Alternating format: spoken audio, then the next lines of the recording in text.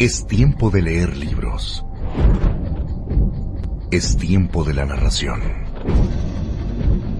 A continuación, Nocturna. De Guillermo del Toro y Chuck Hogan. Publicado por editorial Suma de Letras. Soy Mariano Osorio. Que lo disfrutes.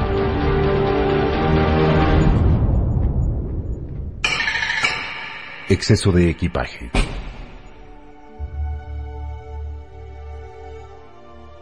Epp llamó con 45 minutos de retraso para disculparse por no asistir a la sesión que tenía con Zack, Kelly y la doctora Kempner, la terapeuta de la familia nombrada por el tribunal.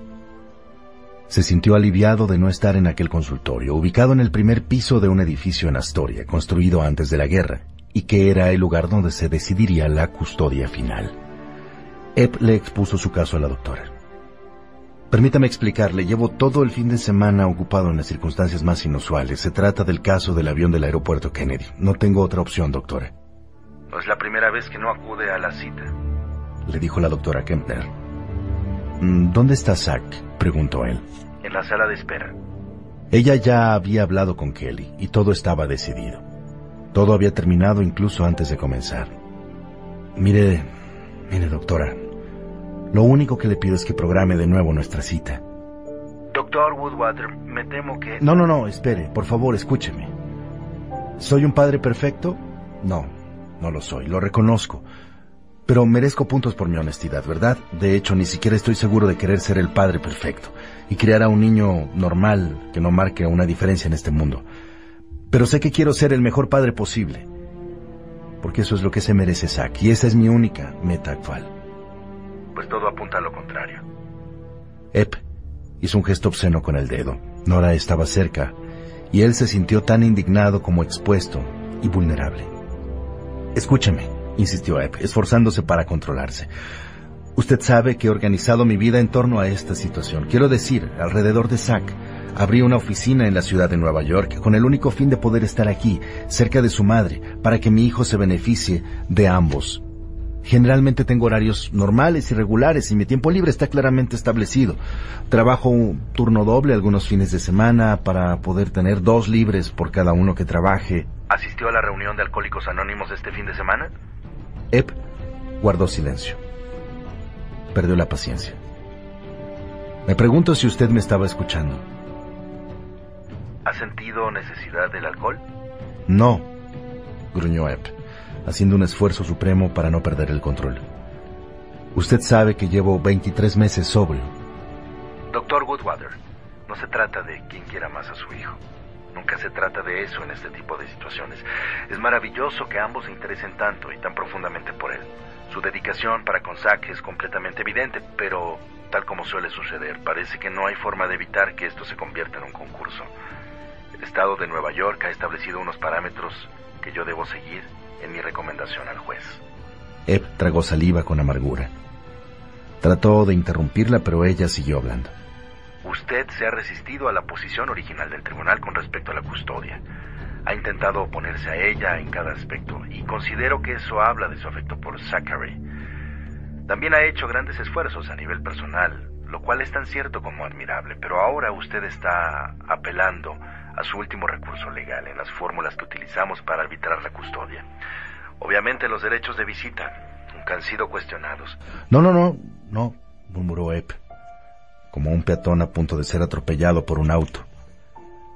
Era la misma sensación de derrota que había sentido todo el fin de semana.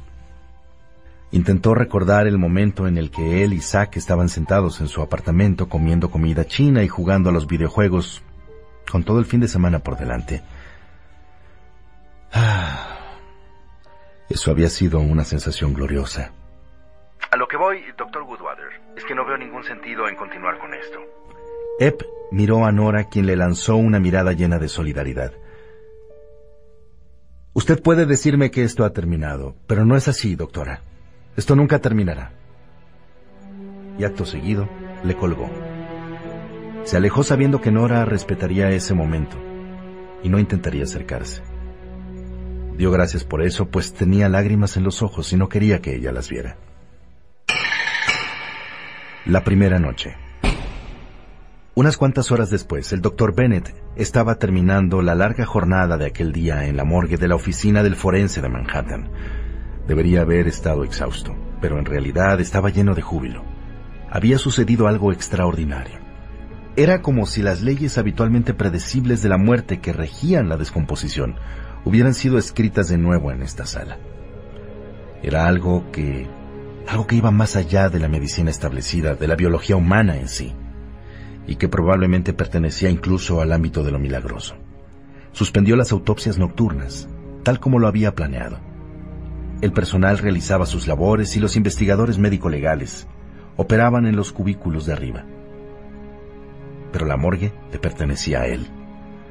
Había notado algo durante la visita de los médicos del CDC, relacionado con la muestra de sangre que había tomado y el líquido opalino que había recogido en la jarra la cual había guardado en uno de los refrigeradores, detrás de algunos recipientes semejantes a los de los postres que se encuentran en cualquier refrigerador.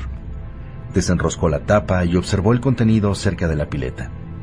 Momentos después, la superficie de unos 180 mililitros de sangre blanca se onduló y Bennett se sobresaltó. Respiró profundamente para recobrar la compostura. Pensó qué hacer a continuación y sacó otra jarra idéntica del compartimiento de arriba. Le echó la misma cantidad de agua y las puso boca abajo, pues necesitaba cerciorarse de que la perturbación no era el resultado de vibraciones de algún camión que pasaba por allí o algo parecido. Observó y esperó, y entonces lo vio de nuevo. El líquido blanco y viscoso se onduló, mientras que la superficie del agua, que era mucho menos densa, permaneció inmóvil. Algo en la muestra de sangre se estaba moviendo. Bennett pensó con detenimiento Arrojó el agua al desagüe y pasó lentamente la sangre aceitosa de una jarra a otra. El líquido era espeso como un jarabe y se escurría de una manera lenta pero precisa. No vio ningún cuerpo pasar por el chorro delgado. El fondo de la primera jarra quedó ligeramente cubierto con la sustancia blanca, pero no vio nada extraño. Dejó la otra jarra sobre el mostrador y esperó de nuevo.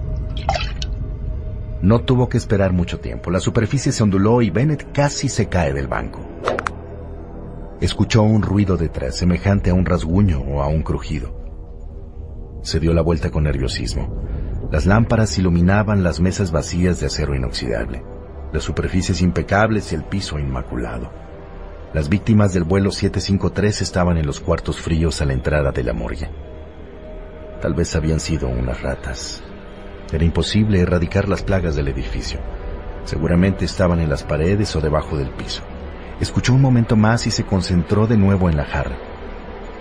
Pasó de nuevo el líquido de una jarra a otra y se detuvo en la mitad del procedimiento. El contenido de las dos jarras era básicamente igual. Las puso debajo de la lámpara y observó la superficie lechosa en busca de una señal de vida.